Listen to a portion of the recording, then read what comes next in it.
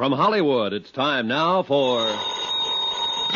Johnny Dollar. Roy Vickers, New Britain Mutual, Johnny. Hi, Roy. How'd you like to try some Creole cooking? Okay, what's up? One of the bellhops at the St. Agnes Hotel in New Orleans had quite a time last night. He opened the safe and walked out with $7,500 in cash and a diamond necklace worth a cool 25000 So help me, Roy. I didn't know bellhops had so much fun. That isn't all. He also stole a station wagon belonging to the hotel manager, not to mention the manager's wife. What do you want back? Mainly that necklace. It's the property of one of our clients. She was stopping at the St. Agnes and had it stowed in the hotel safe. Any line on the bellhop? Not a trace so far. The wife? Don't be funny. Can you hop a plane down there and see what's happened for us? Sure, Roy.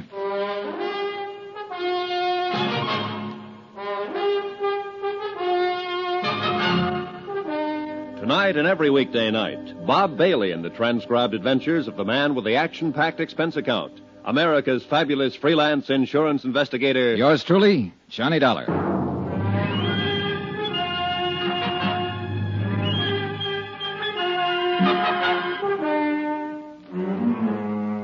Expense account submitted by Special Investigator Johnny Dollar to the New Britain Mutual Insurance Company, Hartford, Connecticut. The following is an accounting of expenditures during my investigation of the Valentine matter. Expense account item one, $175 and no cents. Airfare and the incidental costs it takes to get from Hartford to New Orleans. Once there, I was more than surprised to discover the police had wound up the whole case. The prodigal bellhop, along with the 7500 in cash, the diamond necklace, the station wagon, even the manager's wife, had all been recovered. Everything and everyone tearful, but intact. I reported this development to all parties concerned, phoned the airport for a reservation back to Hartford, which they said would be the following afternoon, and then looked around for something to do. I found a spot on Burgundy Street that seemed to be less crowded than the others and settled down for the evening. That's where it happened. He was sitting alone, tall, gray haired, rugged.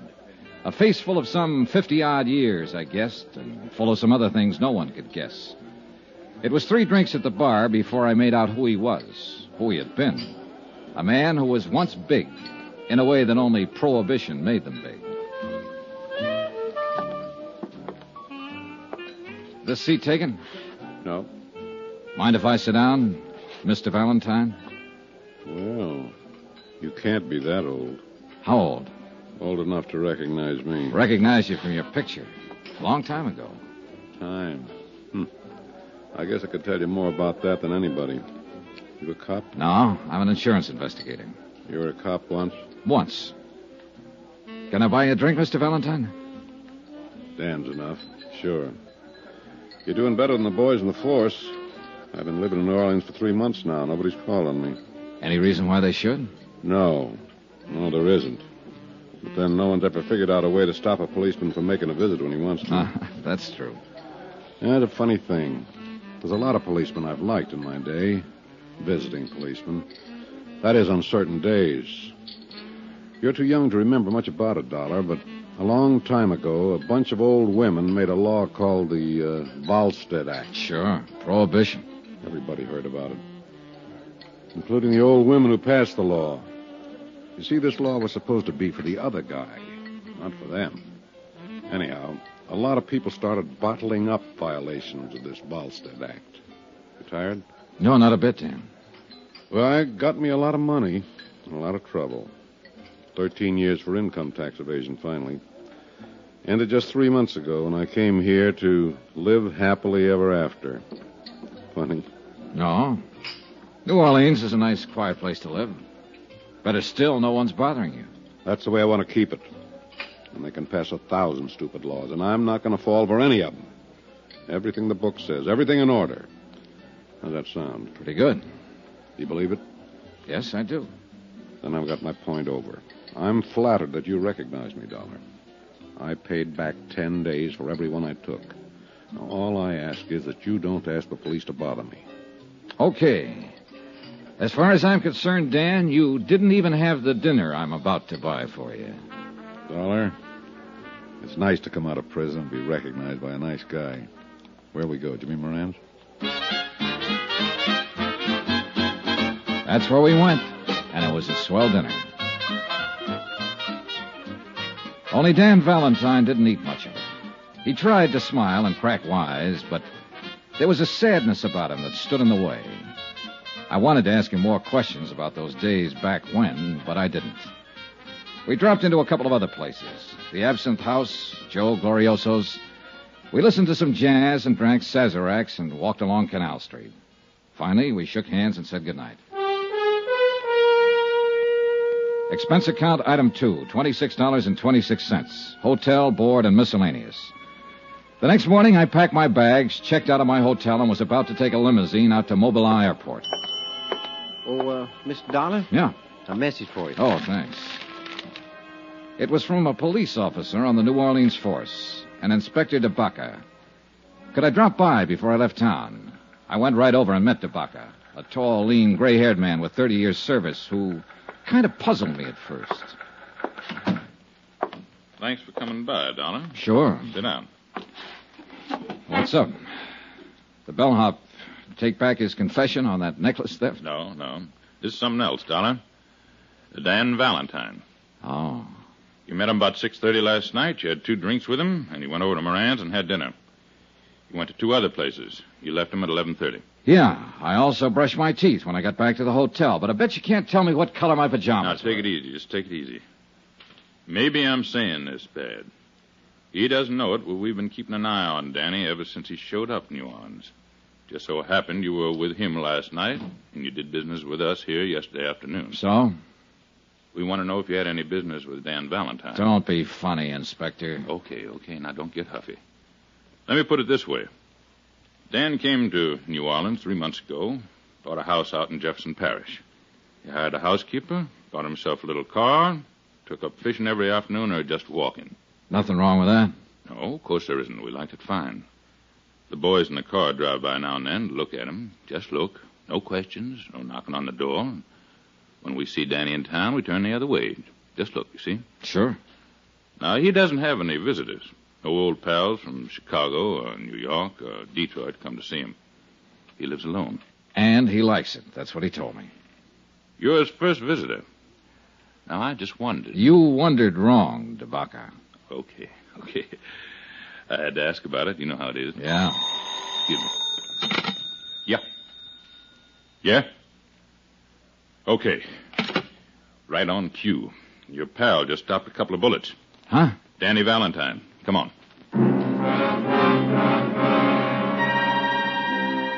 According to the uniformed officer who had put in the call, a newspaper boy had found Valentine lying on the sidewalk and roused the neighborhood. One of the residents had carried him inside. The ambulance crew stood by the bed as we came in. Valentine was lying on his back, the white chenille spread under him, changing to a deep red. Two bullets had ripped ragged holes in one shoulder through flesh and bone. But he was just as self contained as ever. I got the idea you were going to stay out of trouble, Dan. I didn't know I was in any trouble. Hiya, Dollar. Okay. You went to the police after all? No. The inspector called me in. About you, Dan, but let's forget that for now. How'd this happen? This? Cleaning my gun. You're a loser, Dan. You're not supposed to have a gun. Oh, you know me and the law. We sometimes didn't hit it off. Odd, where is the gun? What gun? The gun you were cleaning when you were walking down the street and shot yourself. I swallowed it. Now, look. Somebody's taken a couple of shots at you, Dan. Nobody can tell us anything about it but you so far. We don't want you murdered. Well? Okay, boys. Get the ambulance back. Wait a minute, wait a minute. You're hurt. You're going to the police hospital. No, no. I've served my time and I'm clean. Being shot at even in this state doesn't make you a criminal. Dollar, Yeah, Dan. do me a favor. Would you phone a private hospital and have me taken there? Go ahead, Johnny. Take it easy, Dan. I did as he asked. A crew from one of the large private hospitals was out there in a matter of minutes. And an hour and a half later, Dan Valentine was operated on and the bullet successfully removed from his shoulder. I waited around until he was taken to a private room, and Inspector DeBaca waited with me. Dollar, Yeah, why don't you go back to Hartford? This isn't any of your business. I know. My plane takes off at four. I'll be on it. Well, why are you waiting around here? Oh, to see how he is, I guess. You pal of yours? I just met him last night. You know that. But you're waiting around. Yeah. You want me to tell you why you're waiting around? You want to make sure he's okay. You met him last night, and outside of what you ever read or heard about him, you don't know him from a load of coal. But you want to make sure he's going to be all right. Well, so do I. Because in that room and on that bed lies quite a man. Well, that about summed it up. No matter what he had been or what he had done, Dan Valentine was quite a man. It was the same thing that had caused me to go over to him the night before and start a conversation. The same thing that caused me to believe his plans for living a quiet life in New Orleans. He came out of the anesthetic a half hour later and he sent for me. Hi. Hi. They say it's going to be okay. Oh, sure, sure. This is nothing. I just wanted to thank you for giving me a hand. DeBaca could probably help you more. All you have to do is tell him who shot you and why. I shot myself, and just for something to do. Look, Dan, I have a fair idea of how tough things were for you and how tough they can be now. But Inspector DeBaca understands it, too. He'll do everything he can to help you. But you have to help him, Dan. DeBaca's a good boy. You- You're right. You'll tell him who shot you? If there was any way he could help me, I'd let him know first. I'll handle this myself. Guess you'll want to be getting your airplane. Yeah. Good luck, kiddo. Same to you. I went back to my hotel, picked up my bags, and took a cab to Moisant Airport. My plane had developed engine trouble, and there was going to be a five hour delay. I killed time at the bar and in the restaurant and just standing around looking at the field at night. By that time, the newspapers carried the story of the attempt on Dan Valentine's life. It was as skimpy as the story Dan had told himself, and it troubled me. Uh, Mr. Dollar. Yeah. Long distance call for you from Hartford. Uh, you can take it right in there. Oh, thanks.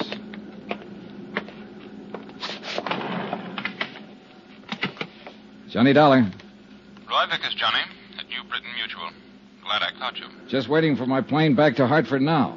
The story about Dan Valentine's in all the papers up here. Have you read it? Yeah, I was in on it in a way. Somebody shot at him today. He won't tell who. Says he'll handle it himself. Can you find out, Johnny? I don't know. Why? We carry a $50,000 policy on him. Somebody's trying to kill him. We'd like to know all about it. You mean I can stay here and work on this? Yes. Okay, Roy.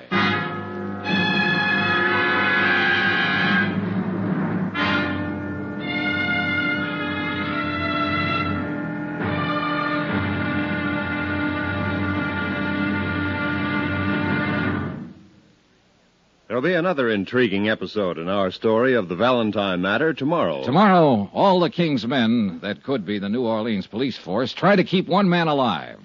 And they almost do it. Join us, won't you? Yours truly, Johnny Dollar.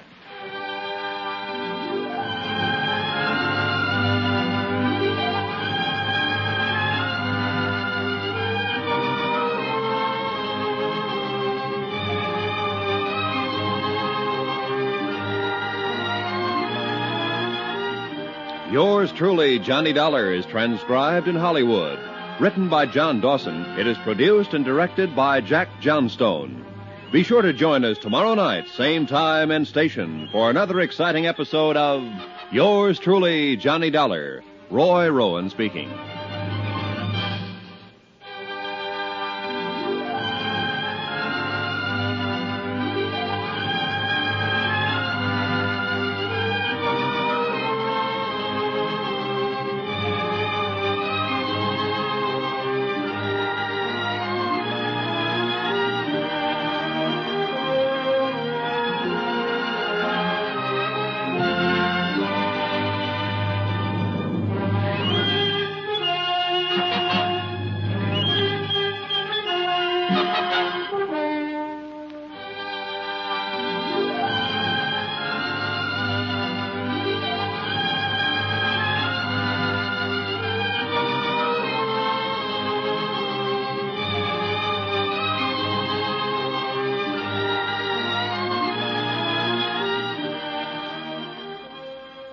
From Hollywood, it's time now for. Johnny Dollar. This is Charlie DeBaca down at headquarters. You left a call for me? That's right, Inspector. Thought you went back to Hartford. What now? The company I represent happens to hold an insurance policy on Dan Valentine.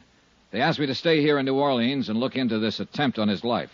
How'd they hear about it so fast? Well, it was in all the papers and on the wire services. Valentine's always been news ever since Prohibition. Yeah, a guy like him would be. Well, you know as much as I do, Dollar. No lead yet. He's still quiet about the whole thing? Just like a mouse who won't open up except to say he'll take care of it himself. Maybe it'll help matters when he finds out the insurance company's interested. You know something? What? I don't think me, you, the whole force, the insurance company, or anybody else can keep that bird alive unless he helps us.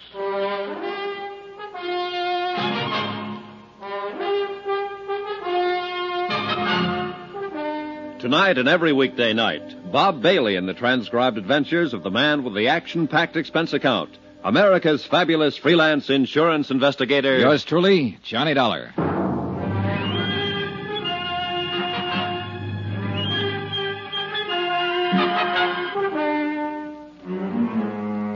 Expense account, submitted by Special Investigator Johnny Dollar to the New Britain Mutual Insurance Company, Hartford, Connecticut. The following is an accounting of expenditures during my investigation of the Valentine matter. Expense account continued. Item three, three bucks. One telegram to Roy Vickers in Hartford requesting a copy of the policy contracts between New Britain Mutual and Dan Valentine, plus the name and location of the beneficiary and any other debt on the case. After that, I walked over to the police station and looked up Inspector DeBaca. Sit down. Thanks. I don't quite get this, Dollar. What's your part? Well, the insurance company would like a full report on everything that's happened, that's all. You could give them that on the back of your thumbnail, couldn't you? Not quite, Inspector. Oh, you mean a separate report from what we have? Something like that, yes. Well, it's their dough. They can spend it any way they want to, I guess. If there's any reason for them canceling the policy on Valentine, they'll do it. The fact that somebody shot at him a couple of times and came near killing him is one thing. The fact that he won't open his mouth about it is another. They're looking for a way out? I didn't say that. They just want to make sure about everything, that's all. An insurance policy's a contract, mutually beneficial to both parties. Both parties have to keep the line of that contract. They don't figure Danny Valentine's running around shooting himself for insurance money. Inspector, they don't figure anything. Well, now that you've been official, be unofficial. What's your idea? Well, Valentine's got a legitimate policy with the company. They don't want to see him killed. They tell me to investigate the shooting. Actually, they're telling me to see to it that he stays alive and well. Oh, that makes sense. Good luck. If you'll sort of let me tag along on the case, I'd appreciate it. Well, we'll see. Oh, what's the matter now? It just occurred to me. Valentine bought a house out in Jefferson Parish three months ago, a couple of days after he was released from federal pen. He's lived there quiet, minding his own business, keeping his nose out of trouble. Yeah. Well, as long as a man does that, even a man with a background like Valentine's, as long as a man does that, we don't bother him, and he doesn't bother us. Well, so? So what happens? Yesterday, you meet him and have a couple of drinks with him. Hello, goodbye. Boom, boom. He gets shot twice. By somebody, somewhere. You a bad news boy? Now, that's as wild as you can get. We had nothing together except the drinks. You sure? I'm sure. Well, I'm thinking about it just the same. Here. Be back in a minute.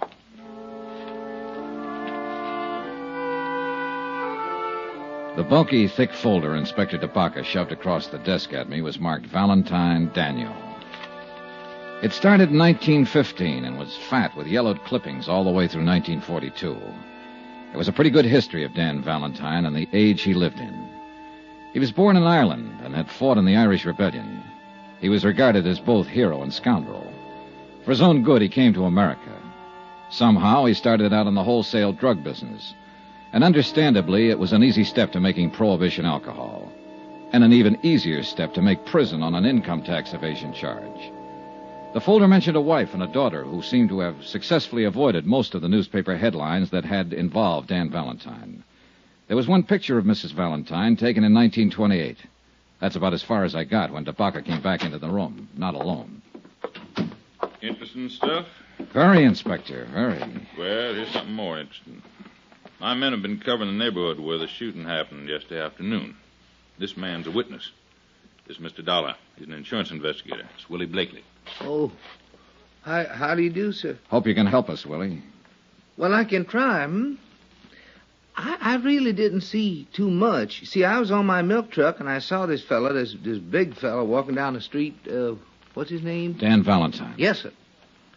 Well, he was just walking, like for an early morning walk, and then I saw this car come around the corner, and there were a couple of men in it. What kind of car? I think it was a Buick sedan. I'm not sure. It was a black car. You happen to get the license number? No. All right, go on.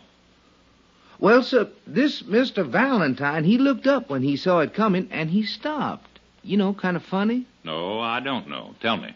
Well, you know, like he was surprised. Do you think he was surprised at who was in the car? Yes, sir, that's it. He, he sort of smiled. Not a hello kind of a smile. Hmm? Sort of a sad smile. Didn't wave, just stood there. I couldn't see the men in the car by then, so I don't know how they were looking at him. Did you see them as they rounded the corner? Yeah, just a couple of fellas, dark coats and hats. Would you know them if you saw them again? Uh, I don't think so, Captain. Okay. Two men. Yes, sir. So this, this Mr. Valentine stopped and, and looked at him and, and give him this kind of smile. He recognized them, you think? Oh, yeah. And then I heard a noise, you know, something like whack, whack. And Mr. Valentine fell down, and the car drove off. Did Valentine go for a gun? No, sir. What did you do then? Well, I got out of there. Why? I didn't know what was happening. I didn't want to get hurt. You didn't even try to help him? No, sir, I was scared. I didn't know what that whack, whack was, sir. And it took you all this time to tell us about it. Sorry, Captain. Dollar, Yeah. you got something to worry about. Hmm? That noise he was talking about didn't sound like regular gunshots, or he would have said so. Silencer. What else?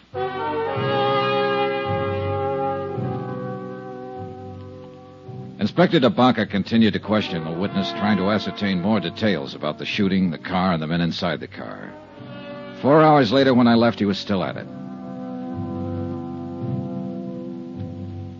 Some more expenses. Item four, two dollars and a half. Cab fare from police station to hospital. I thought I'd drop in and take a chance on Dan Valentine coming across with some information. Sorry, no visitors. It's pretty important. I'm a friend of his. I'm sorry. When can I see him? That's hard to say. Mr. Valentine's condition is not too good. What? Well, nothing to be alarmed about. He lost so much blood that he's in a weakened condition. The doctor's ordered a transfusion. Oh. You can phone in later if you like. Excuse me. Yes, ma'am? I should like to see Mr. Valentine, please. I'm sorry. I was just telling this gentleman. That's impossible. How is he? He needs rest.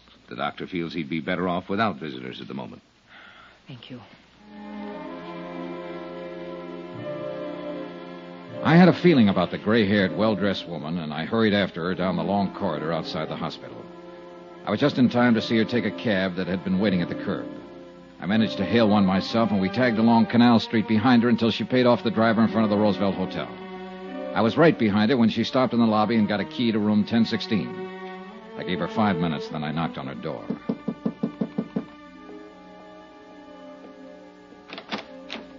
Yes? Hello, Mrs. Valentine. My name's Johnny Dollar. Anne Valentine looked at me for a long time. I had to hand it to her. There were no tears, no frowns or screams, just a wide, frank look from a woman who, by any man's standards, had once been beautiful. I haven't been called by that name for many years. You're a reporter, of course. No, I'm not. I'm an insurance investigator. In a policeman's office today, I saw one of the few pictures ever taken of you. At this hotel, I'm registered under the name of Anne Ward. Ward is good enough for me, Mrs. Valentine. May I come in? Yes. Now, what is it you want, Mr. Dollar? Possibly the same thing you want to keep your husband alive. I believe that's up to the doctors, isn't it? Not quite. If he was shot at once and he won't help the police find out who did it, there's a reasonable chance he'll be shot at again. Do you know who did it? Well, who it might be. Look, the police have found a witness who describes two men as having done the shooting. Can you add anything to that? Mr. Dollar, I haven't seen Dan in over 13 years. I haven't written to him, talked to him, or contacted him in any way, either while he was in prison or these last few months he's been out. I see. It was his idea. But he must have had a reason. He did. Our daughter. Oh. She believes that Ward was her dead father's name. Do I make myself clear? Yeah. I read about the shooting. I caught the first plane here because I thought I might help Dan. My daughter thinks I'm on a little vacation by myself. You don't believe me, do you? Well, in view of what you've just said about not having written to him for 13 years. That was the way he wanted it. I was never ashamed of Dan, never. He was ashamed of himself and how his activities might affect us. He gave me everything I ever had out of life. In New Salem, that's where we live, and live very well because Dan saw to that part of it before he went to prison. We are considered very proper people, Teresa and myself. Dan sacrificed a great deal for that consideration. I think that you've sacrificed a great deal yourself, Mrs. Valentine. When I go back to the hospital to see him tonight, he'll probably tell me to pack my bag and go home, that there's nothing to worry about. But there is something to worry about, isn't there, Mrs. Valentine? He won't talk about it, and you won't talk about it, and both of you know all about it. Oh, Mr. Dollar, you're a very young man. I'm sorry if I sound like I could help you. I can't. Please go. I went back to my hotel and had some dinner. Then after a while I put in a phone call to the hospital and found out I could talk to Dan Valentine between 7:30 and 9. About then a special delivery came for me. It contained the information I wanted regarding the policy on Dan Valentine. I noticed that the beneficiary was a Jewel affair, wife and daughter, Anne and Teresa Ward. I had to check with Inspector DeBaca just once more. No luck. He had been unable to identify or locate the two killers described by the witness. He was trying to trace the car. 7.30 on the dot, I was at the hospital. The reception desk seemed reluctant to talk and referred me to the head nurse who happened to be out to dinner, who referred me to the surgical nurse who took me aside and told me to find a crystal ball. Mr. Valentine's gone. We have no idea where. How could he be gone? We started to give him a transfusion. He jumped up suddenly, knocked down one of the male nurses, grabbed his clothes, and ran out of the hospital. Just as simple as that. I thought he was in a serious condition. Shh, keep your voice down. He was in a serious condition, and it's going to be critical pretty soon. Running around town bleeding from two bullet wounds. If you want to keep him alive, Mr. Dollar, you better find him and find him fast.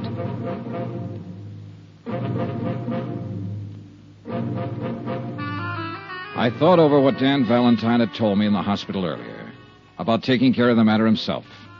And the more I thought about it, the more I realized he was going to do just that, even if it killed him.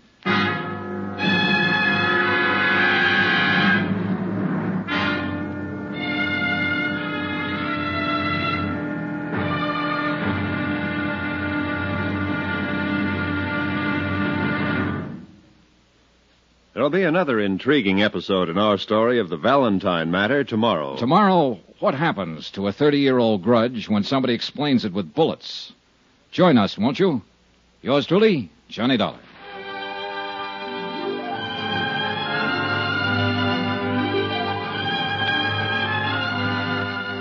Yours truly, Johnny Dollar, starring Bob Bailey, is transcribed in Hollywood.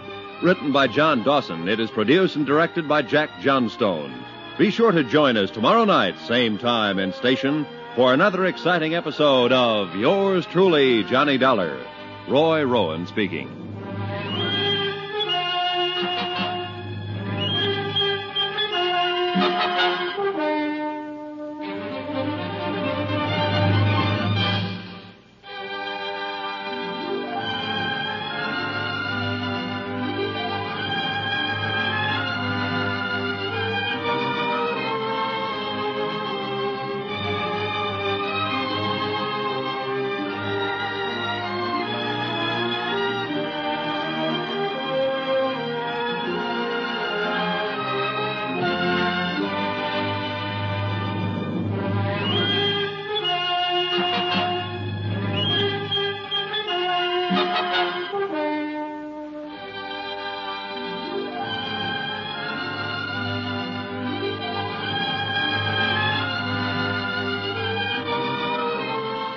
Hollywood, it's time now for.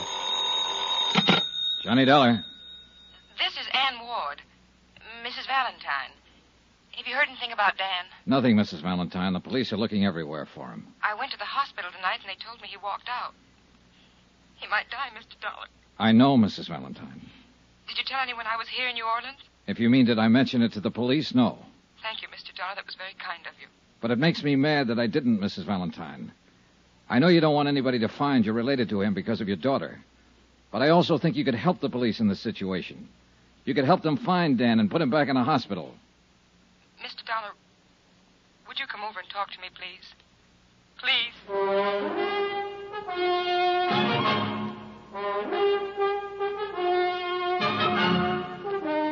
Tonight and every weekday night, Bob Bailey in the transcribed adventures of the man with the action packed expense account, America's fabulous freelance insurance investigator. Yours truly, Johnny Dollar.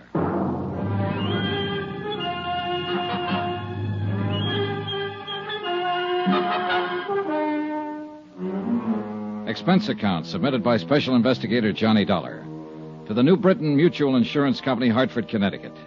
The following is an accounting of expenditures during my investigation of the Valentine matter. Some more expense. I believe this is item five. Yeah, four bucks. Four drinks for myself. When a next big shot of the roaring twenties like Dan Valentine carries a $50,000 life insurance policy and walks down the street one day and gets himself shot and refuses to disclose who fired the bullets, I have to do the worrying for the insurance company. When he decides to leave a hospital bed minus a pint or two of blood, I have to worry some more. I needed those drinks. You can just say I liked what I'd seen of the guy, and I didn't want him to walk around New Orleans bleeding to death.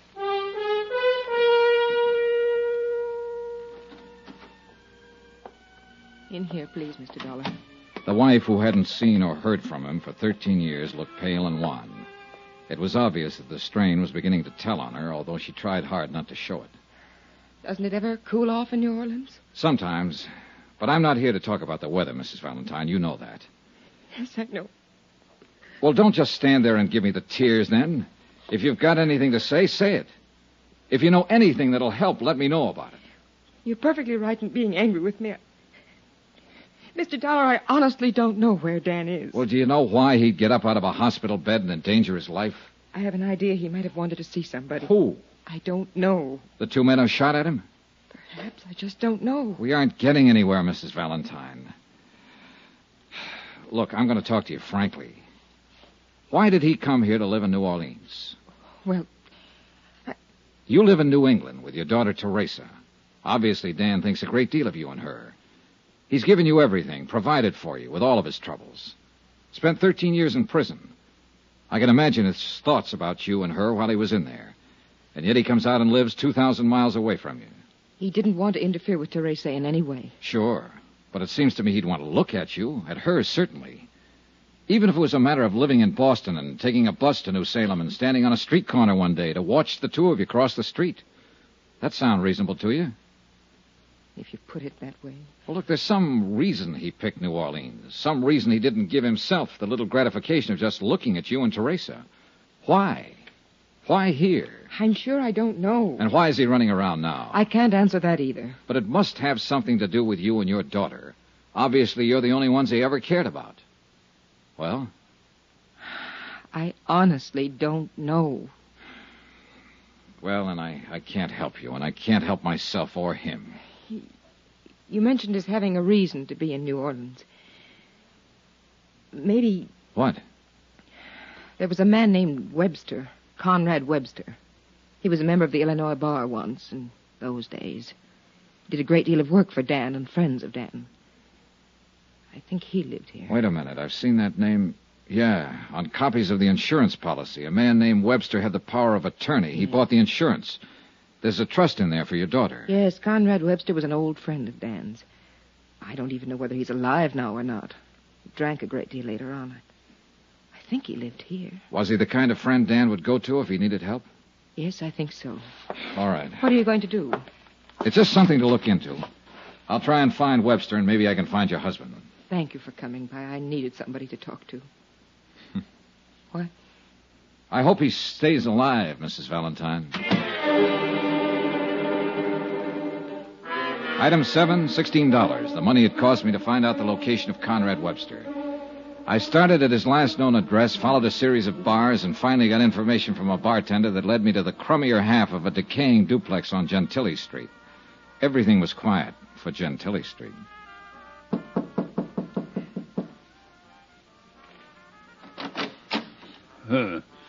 Young man, the drugstore delivers what I need most. The telegraph office what I dread most. Obviously, you represent neither, and therefore you are no concern of mine. Wait a minute. Are you Mr. Webster? Conrad Webster? I am he, and I am drunk and disheveled, and it is three o'clock in the morning. I'd like to talk with you. May I come in? You may not. This isn't exactly the hour for making calls, but I did stop by and pick up something to take the edge off. Sir, huh? It's bonded. Oh, inside, inside. Now then, you uh, were going to apologize. Here you are, Mr. Webster. Uh, uh, oh, well.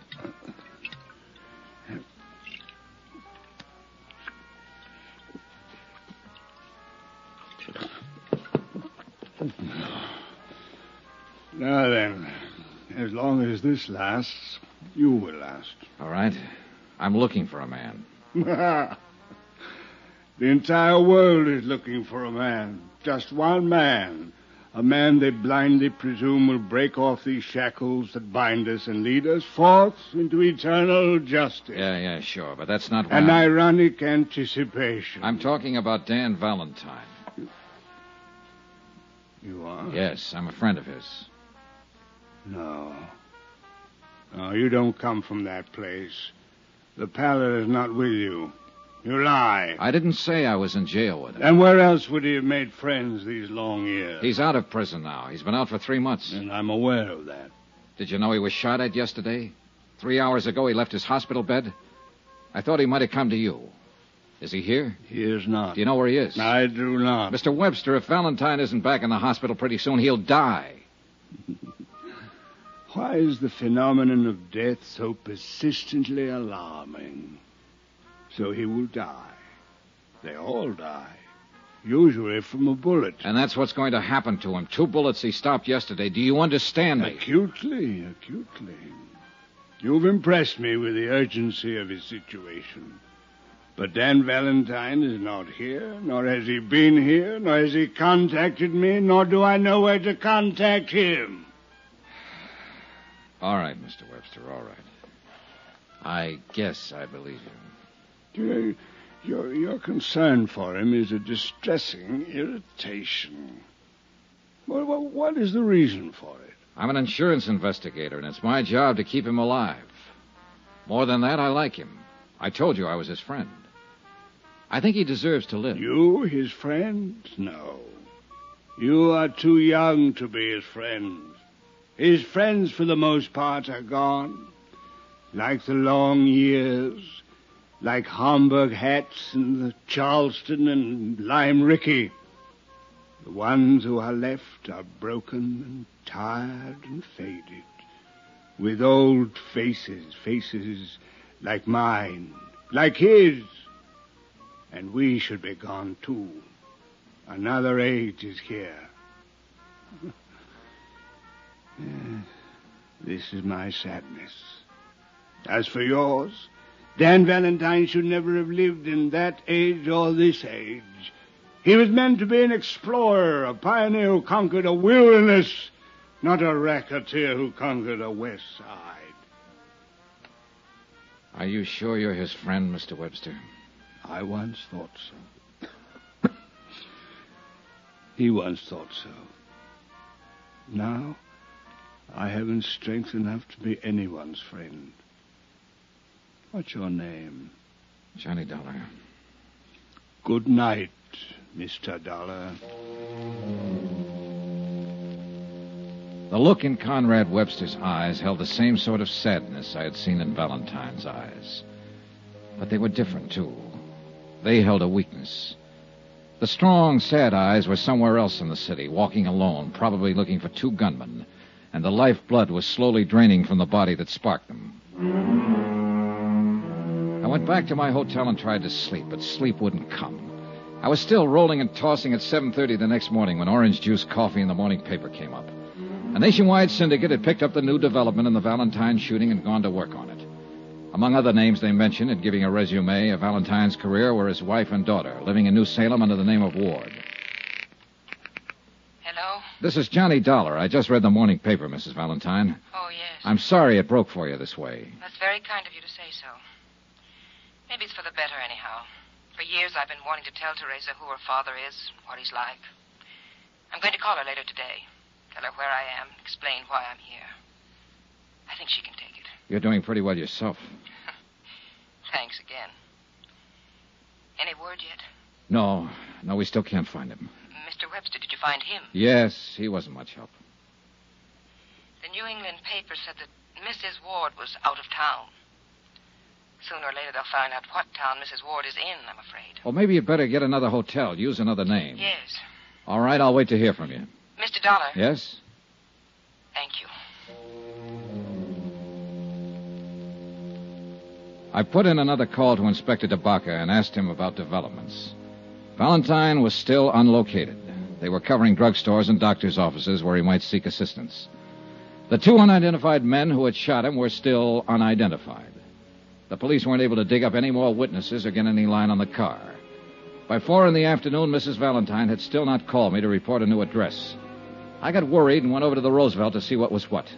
I was surprised to see Inspector DeBaca in the lobby talking to the bell captain. All right, son. If you remember anything else, call me here. Yes, sir, I sure will. Hi. Hi, Dollar. Well, you want to talk first, or you want me to? All right, I'll talk first. Mrs. Valentine's been staying here under the name of Ann Ward. You knew that. Yeah. Why didn't you say anything to me? She asked me not to. Doesn't make any difference now, anyhow. That boy over there called us a little while ago. He said that Dan Valentine came in here this afternoon, went upstairs, came back down 15 minutes later with Mrs. Valentine. They both left together. Yeah, he must have seen the story in this morning's paper and guessed she was in town. That's the way I see it. Well, we're right back where we started from, and I'm about sick of it. We're a little better off. Two people are easier to find than one. We found them all right at 7 o'clock that night, and it was easy. Three squad cars were already drawn up in front of the little hotel, and I noticed with a sinking heart that a hearse was there also. Dan Valentine and his wife were dead.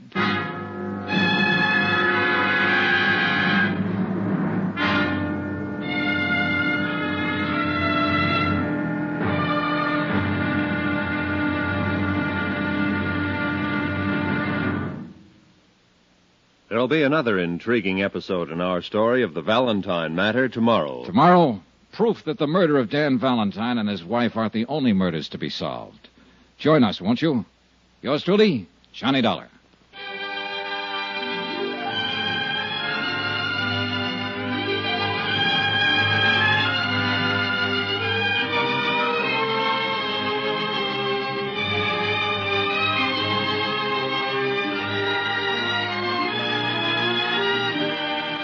Yours truly, Johnny Dollar, starring Bob Bailey, is transcribed in Hollywood.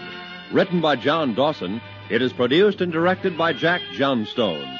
Be sure to join us tomorrow night, same time and station, for another exciting episode of Yours truly, Johnny Dollar. Roy Rowan speaking.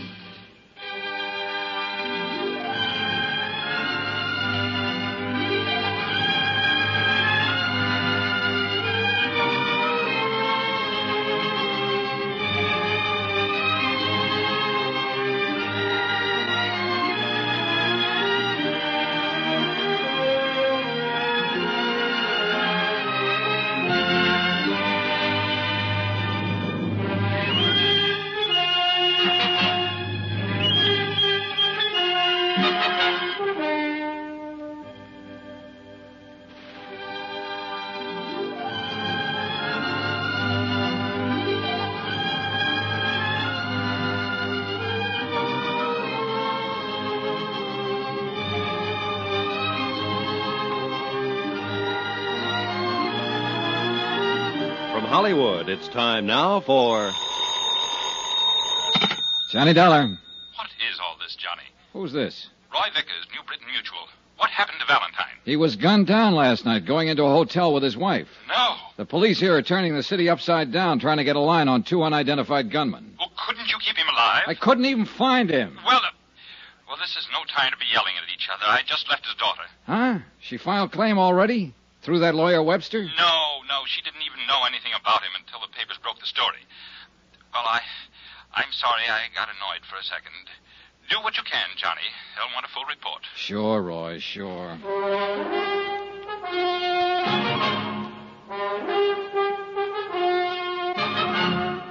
Tonight and every weekday night, Bob Bailey in the transcribed adventures of the man with the action packed expense account. America's fabulous freelance insurance investigator. Yours truly, Johnny Dollar.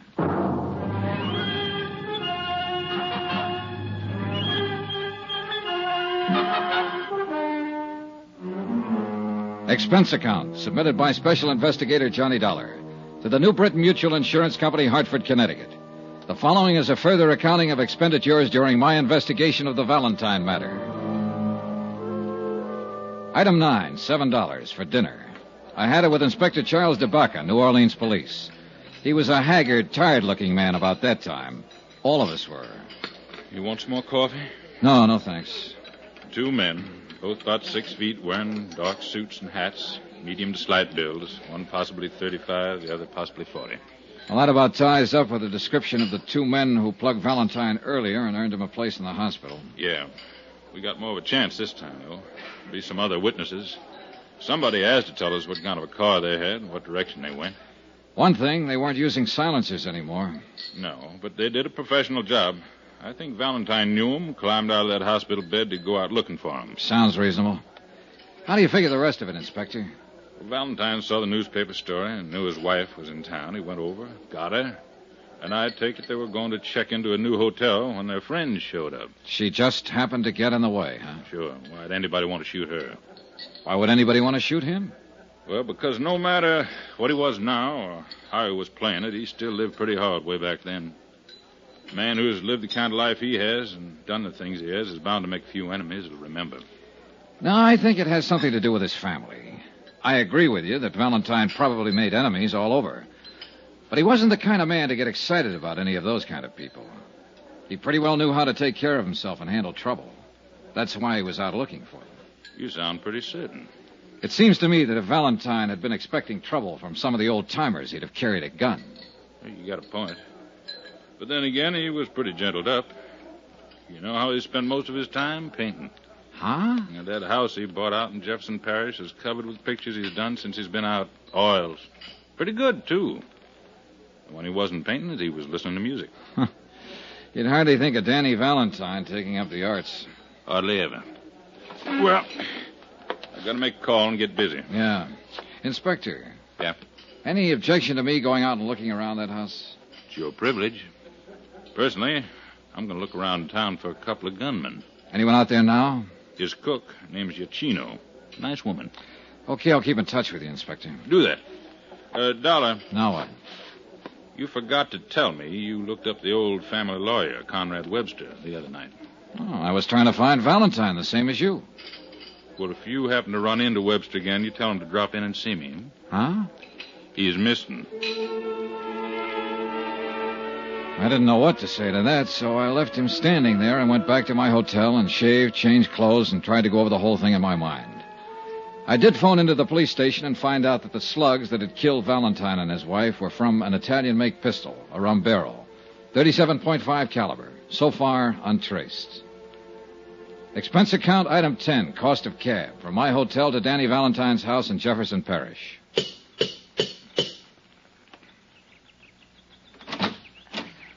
Yes, sir. How do you do? Are you Mrs. Iacchino? Yes, sir. Who are you, please? My name is Johnny Dollar, Mrs. Iacchino. I'm from New Britain Mutual Insurance Company. I'd like to talk to you if I may. About uh, Mr. Valentine? Yes. Not right now, Mr. Dollar. Some other time, huh? Well, if you prefer it that way, Mrs. Iacchino, but. It's uh, been a hard day here. I, I, I mean, Mr. Valentine's death and his wife being killed with him. All of these policemen in and out of here, and now Miss Ward and all. Miss Ward, his daughter? Yes, she's here. Arrived two hours ago. She's stay here. Could I see her? You come tomorrow, Mr. Dollar, please. Huh? Tomorrow. Mrs. Giacchino. Uh, yes, Miss Ward. Who is it? Uh, uh, Mr. Dollar. He's from the insurance company. I... Insurance company? Yes. I'd like to talk to Mrs. Giacchino. Teresa Ward stood at the base of the iron grill stairway, tall and dark eyed. And I saw that, like her mother, she had a quiet intensity about her face that made it beautiful. At the same time, ageless. She smiled politely at me. I could only stand there without speaking for a long moment, looking at her. Then Mrs. Iachino excused herself, and we were alone. I wanted to talk to someone who might be able to give me a little more information about all this. It's all quite new to me. I'll tell you what I can, Miss Ward. My name is Valentine, isn't it? Really, Valentine? Yes, it is. Well, suppose we correct that mistake right now. Sure. There's nothing wrong with Valentine. From what a Mr. Vickers from the insurance office in Hartford told me, I'm to be quite well off because of this man that was murdered. You mean Dan Valentine? Yes, Dan Valentine. They tell me he was my father. Who told you? Oh, reporters at home and your insurance company. Mother told me my name was Ward. Poor thing. Must have been difficult for her over the years keeping the secret from me. Yes, she told me she thought it was the best thing. She, um, well, the same as he did. Tell me about my father. Was he a bad man? Oh, as good or as bad as the Volstead Act made people. I only met him a couple of times. To awaken one morning and discover that you're the only daughter of a famous racketeer who's been murdered. Look, Miss Ward, if he had anything to do with the way you turned out, uh, with what you seem to possess within yourself, I'd say offhand that whatever he was or did, he thought of you. Are you flattering me? I'm not trying to. You seem like a very nice person. And so do you, Mr. Dollar. Will you tell me all about this, please? Well, let's see. Uh, you're 21, isn't that right? Yes. Just about 15 years ago or so, your father was on trial for income tax evasion. Just before he was convicted, he set up a trust fund with my insurance company to provide for you. It's been paying money for your support and education ever since. According to the terms of the trust, all of the money becomes yours now that your mother and father are dead. It comes to well over $50,000. That's all there is to it? Mm-hmm. I suppose I'm grateful to him. I suppose I should be grateful. I can't say that I'm particularly sorry about his death any more than I would be if any other human being died violently somewhere. But about Mother's death, I, I miss her very much already, Mr. Dollar.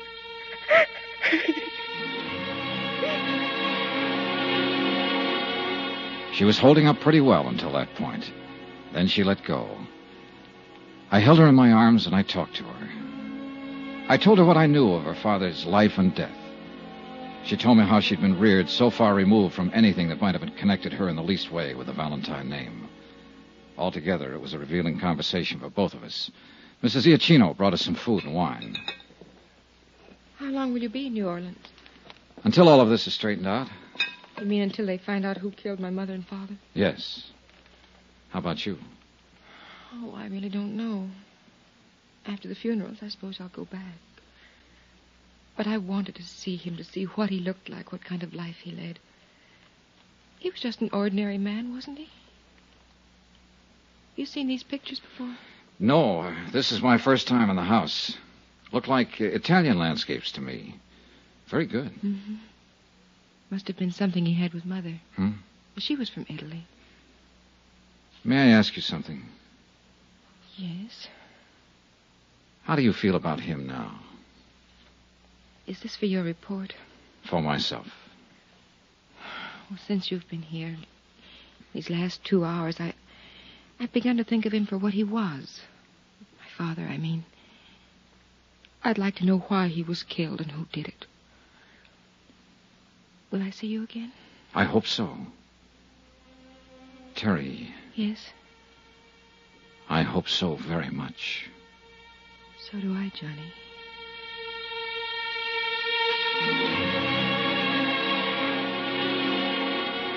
I left her at the door that night with a warm sensation inside of me. Something I certainly hadn't expected in the business at hand.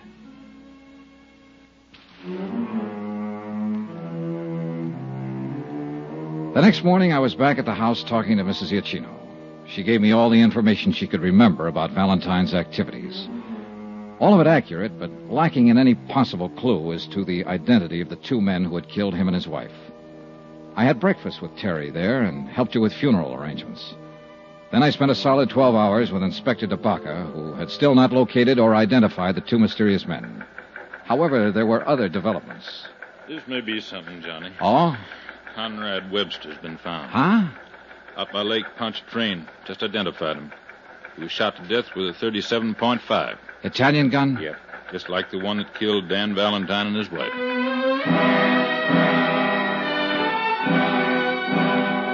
It later developed that the slugs taken from Webster's body, when compared with those that had killed the Valentines, were fired from the same weapon.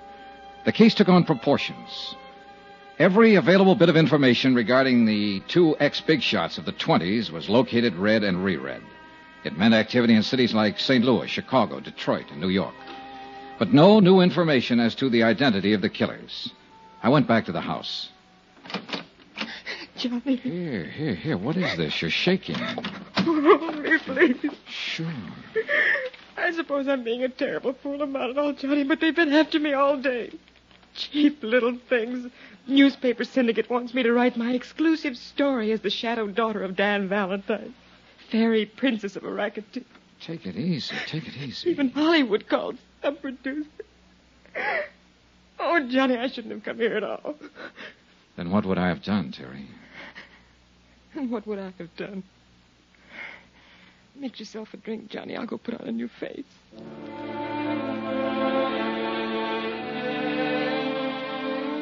It had become apparent to me in the short time I'd known her that she'd grown to love the memory of her father.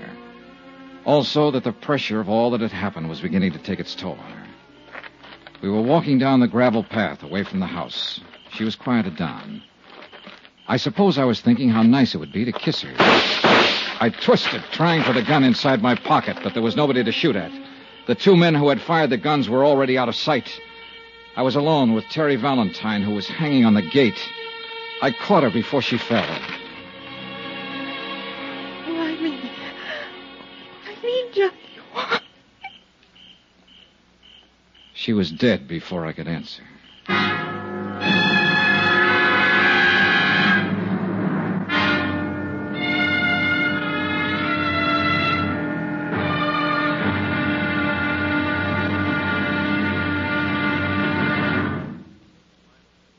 There'll be the final intriguing episode in our story of the Valentine matter tomorrow. Tomorrow, a sober lesson in how long, how far, and how deadly one man's hate can be. Join us, won't you? Yours truly, Johnny Dollar.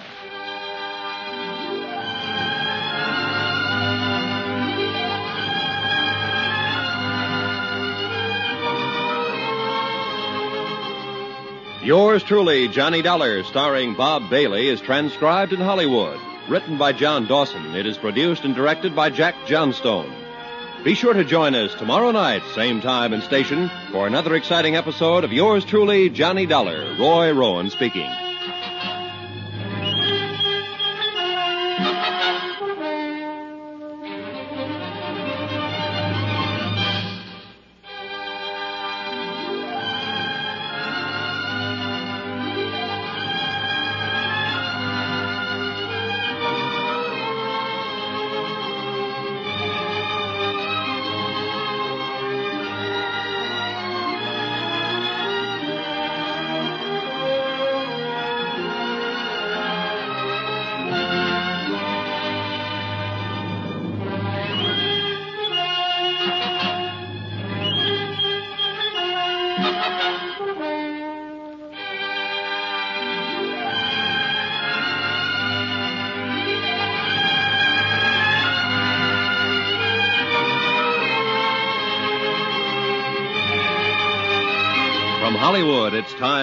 Now for.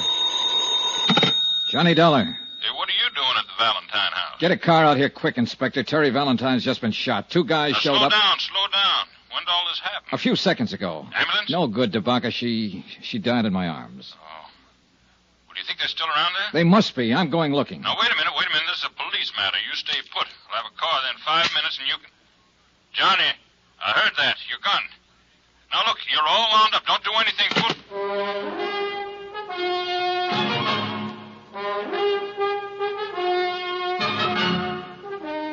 Tonight and every weekday night, Bob Bailey in the transcribed adventures of the man with the action packed expense account. America's fabulous freelance insurance investigator. Yours truly, Johnny Dollar.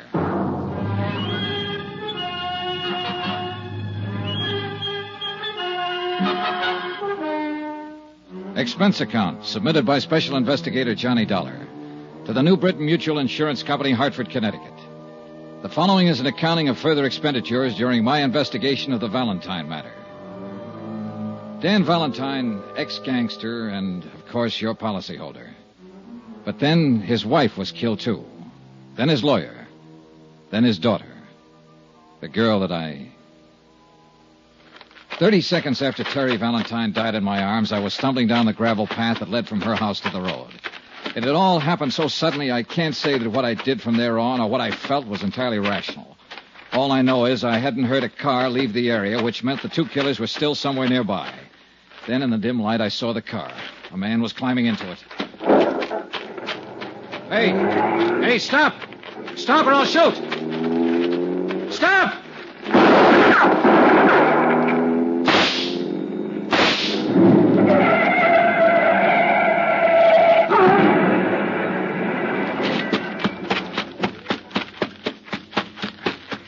Get out of there. Get out of there and get your hands up. I'm a hit. I'm afraid to move. Come on, get out. Come on. I'm coming, I'm coming. You two, come on, come on. It's no use on him, mister. He used up. You've got him real good. Ooh. I need a doctor. Help me get to a doctor. Stop right there. doctor. Stand still. You pretty tough fella. What's your name? Sisto. Sisto what? It's good enough for you. I need a doctor bad. Listen. Ooh. Tell it to me. Tell it to me right now. If you don't tell it to me now, you'll never tell it to anybody. Tell it. No. Tell it. I need a doctor. Tell it. I die first. Johnny! Johnny! What is this? Who's he? He's going to kill me.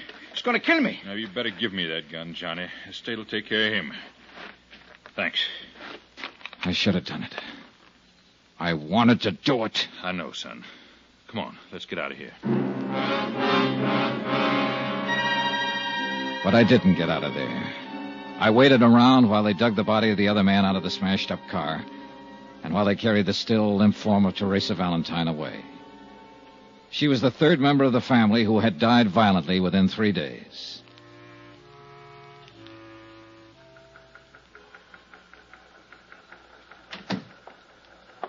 Sorry about it, Dollar. Inspector, I was hoping I might have been wrong. That she wasn't dead. Oh, you weren't wrong. Which one shot her? Huh? The dead one? Or the one we still got in the hospital? Oh, I don't know. Both of them, I guess. You don't feel like talking to it. I'm just trying to pin it down. Well, what about him? Can't get much out of him so far. He's in pretty bad shape. Let me ask him some questions, Inspector. I'm no police officer. I don't have to obey any Now, rules. take it easy, kid. You were about to do that once, and we'd be holding you for murder if you'd gone ahead. I know how you feel about Teresa Valentine. Has he said anything at all? Nothing. We found papers on him and the other one that makes them brothers, Sisto and Darby Chianti, from New York. So far, there doesn't seem to be any connection with the Valentines. Ah, but people like Valentine make a lot of enemies. That girl doesn't figure. Yeah. I know you talked to her a lot these last couple of days, Johnny. What'd you say? Oh, nothing that had anything to do with this. You know yourself, she didn't even know her name was Valentine until her father got shot at. Yeah, that could have been an act. And you could have been 20 feet tall. Just trying. Try with that punk you got upstairs in the hospital. We will, Johnny. We will. Just. Pardon me.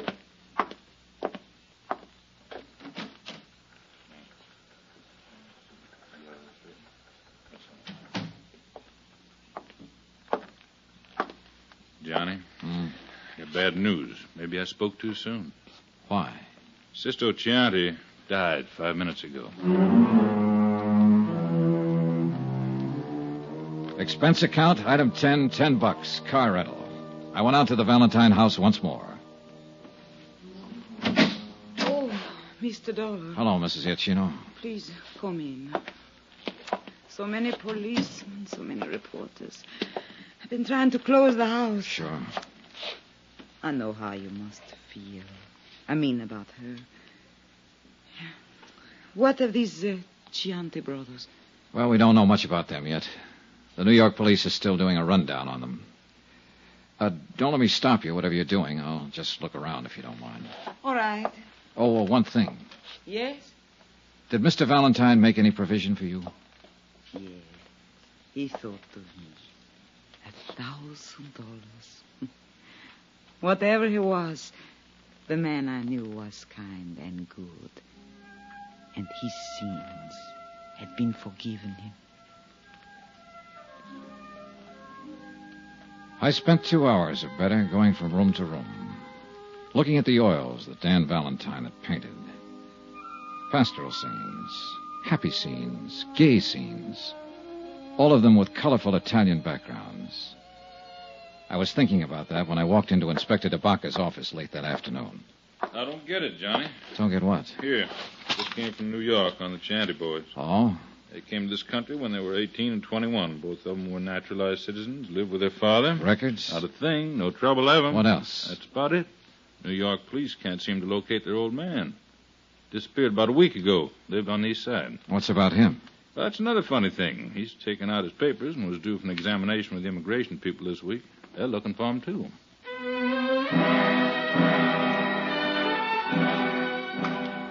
We went out and had dinner together and talked about the case. It had been a strange one. The deaths were useless, the motives unknown. I parted company with Inspector DeBaca and went back to my hotel to trouble it out with sleep. About 11 o'clock, I had a phone call. Johnny Dollar. This is DeBaca. Old man Chianti just showed up at our city morgue and wants to take his two sons back to New York for burial. Twenty minutes later, I was standing in the coroner's office while Inspector DeBaca led a small, wizened old man into the room and sat him down on one of the chairs. Mr. Chianti, it's Mr. Dollar. How do you do? Mr. Chianti, I read about you. You killed my boys. Is it so? Yes. They'd killed four other people. I know, I know. But Why did they kill the Valentine family, Mr. Chianti? Why did they kill Conrad Webster, the lawyer? Do you know why? She. I know. Then tell me. They're all dead now. I'm. I'm still alive, Mr. Dollar. He refused to talk about his sons or any of their activities. DeBaca held him to answer to the immigration officials. He remained in his cell, silent and noncommittal to all visitors, including the chaplain. I appeared before the coroner's jury the following morning and was cleared of any charges. Pietro Chianti still had said nothing. And he looked at me as though he was going to keep on saying nothing. Ah, Mr. Chianti, I see you, Mr. Dollar. More questions? Dan Valentine's wife was your daughter, wasn't she? Wasn't she? All right, you don't have to admit it. I have a copy of the marriage license right here. It came from New York this morning. She was my daughter. Is that all you have to say now? I no talk. Then I will, Mr. Chianti. Because your daughter, Mrs. Valentine, had a daughter herself, Teresa. A lovely, wonderful girl that your two sons killed. I happen to know that girl. I might have been in love with her, I don't know. But I do know. She had to die, too. What? This uh, Conrad Webster, Mr. Valentine, and my own daughter and granddaughter, they had to die. All bad. You? See, I order it. You ordered it. And who are you? God? I am the father. When a daughter marries a bad man, only bad can come from it. The granddaughter was then bad. He come to our village many years ago. Take her away. He and the man Webster help him. It it lived with me. The stealing of my own flesh and blood. All this time it grow inside of me. I am old, but I keep on living. Only so I can come here and find him and destroy him. And her. And the daughter. and the lawyer man who helped him. And I destroyed them through my sons. A whole family. Vendetta. Was that it? If you like. Vendetta. He was a bad man who did bad things. Bad man. I, I smoke now. You have a cigarro, eh? The disposition of old Pietro Chianti is up to the immigration department. I didn't stay around New Orleans to learn the results of all the extensive examinations that would have to be completed to test his sanity. I'd had enough of the town. Expense account item 11, $140.20, hotel and board. Item 12, $28, car rental miscellaneous. That includes flowers to the Valentine family. Item 13, same as item 1, $175. Transportation back home. Expense account total, $1,290.38. Remarks? Whenever I close my eyes, I can see a lovely girl standing at the bottom of a long, curving stairway, smiling, because I'm in the room. That's all. Yours truly, Johnny Dollar.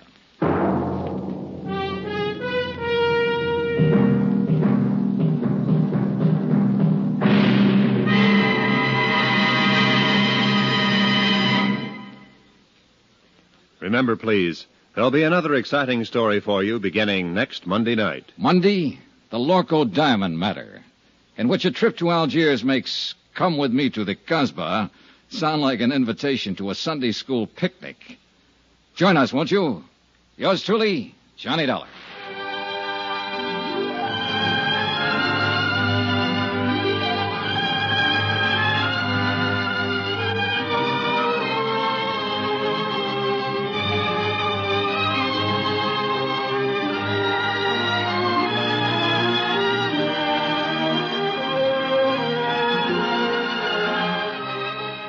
Truly, Johnny Dollar, starring Bob Bailey, is transcribed in Hollywood.